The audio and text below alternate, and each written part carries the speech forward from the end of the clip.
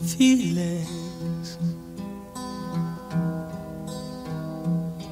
Nothing more than feelings. Si yo tuviera tetas grandes y un gran culo, la foto de mi perfil de Twitter sería yo en bikini. Así tendría más seguidores. Feelings.